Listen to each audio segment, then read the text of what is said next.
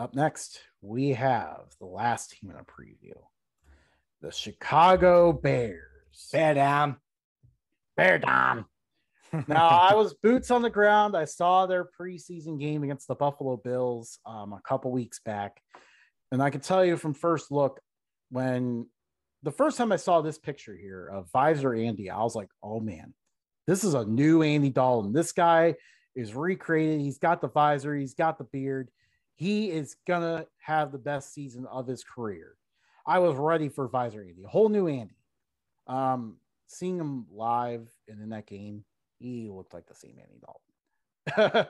I mean, he's not look good there, and the offensive line was just as bad as it was last year for the Bears. The play calling was just as all over the place and disorganized as it was last year.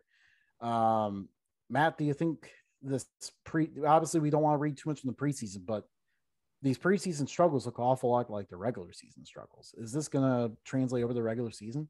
Uh, it will because Andy Dalton's draft profile was literally spot on. Whoever uh, came out with that was an absolute genius because his liabilities have been his shortcomings in the NFL.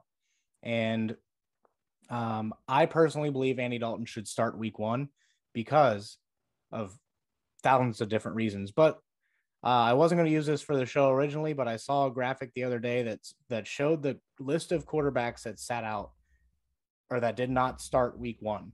And like, of course, Deshaun Watson came in at halftime of his first game, and then it showed like Pat Mahomes sitting out for a year, and then it showed like all those quarterbacks, and then over in the column of um, rookie starters, it showed Joe Burrow, Sam Darnold, but just a bunch of names that are like, like so far, Joe Burrow's second year. We're waiting to see what what he does. I'm rooting for him. I'm big fan of him. Yes. But as far as Sam Darnold goes, having him on that list should show you that it doesn't always work out. Sam Darnold was high on everyone's radar coming into the NFL and now he's on a completely different team and we're going to see where he goes with that but um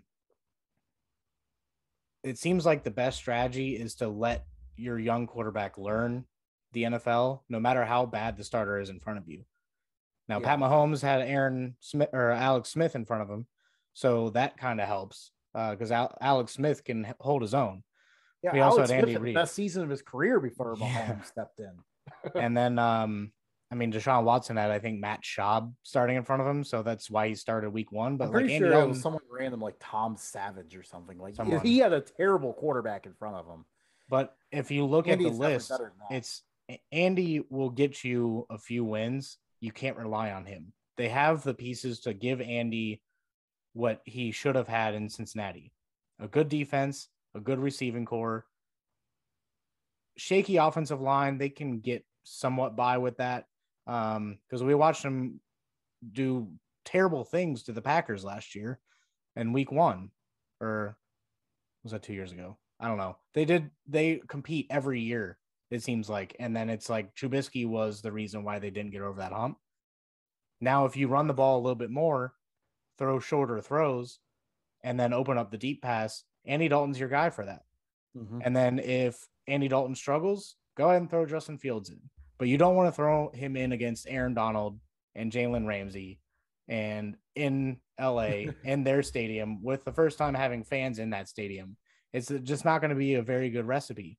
You're literally going to shake that dude's confidence and he's not mm. going to play well the rest of the year and the entire city is going to be on his back and he's not going to play there and then it's going to be all downhill from there. So like you have to look ahead on what the long-term effects are going to be of starting him in week 1. Yeah, absolutely. I agree. Um, they should definitely take their time with it. Um, let's see how this team looks in the regular season. Um, definitely, you know, David Montgomery's back at running back. He was the ball carrier last year. Obviously, everyone behind him pretty much sucked because Cohen got hurt. Um, Cohen still not back. I'm not sure no. when he will be back. Um, they added Damien Williams. He looked awful in the preseason game that I went to. He fumbled once and got nowhere on all his carries, but that team just looked disjointed from the start. So I don't know what to read into that. Um, the defense definitely it'll be solid as always, but um, there's definitely been some transition at corner, and they're just trying to figure that one out. Oh, and something we didn't get to um, notate uh, on our previous show, the Raiders tried to trade for Khalil Mack to get him back. Like, the Raiders tried to see if they could get Mack back. like, why would the Bears ever return that phone call? Like, that's just dumb. They're Yeah, the Bears, are in win now mode. It's Matt Nagy's job. Like, if they don't win this season, he's gone. yeah, Ryan absolutely. Pace is probably gone. Although he Ryan Pace has done a halfway decent job building that defense and building that roster, getting those players in, Mhm. but he's on the hot seat too. Yeah. Sorry, Raiders. You cannot um, make a comeback from your mistake.